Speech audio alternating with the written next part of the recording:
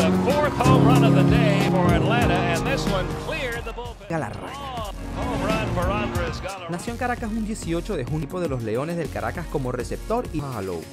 Los scouts de ese momento decían que el gran peso de Andrés no le permitiría jugar a béisbol llegar allí, ya que conoció a Don Baylor, quien fungía como coach de bateo en ese equipo de la época, junto a Larry Walker, Vinny Castilla y Dante Bichette, quienes fueron apodados junto al venezolano los bombarderos del convirtió no solo en el primer venezolano en ganar un título de bateo en las grandes ligas, sino también en el mejor promedio latino, el primero en hacerlo para un equipo en expansión y el más alto porcentaje para un bateador derecho desde que Joe DiMaggio bateara 381 en 1939.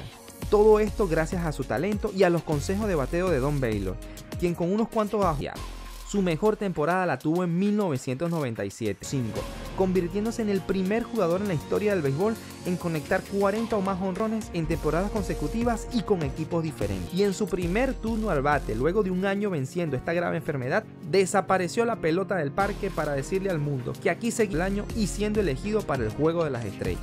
Y un contrato de ligas menores donde no llegó a disputar un solo encuentro con los menos orgullosos de ser venezolano, por hacer que nuestra banda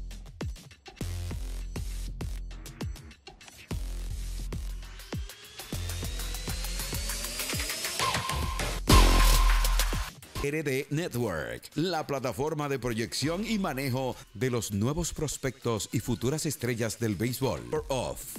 Síguenos en todas las redes sociales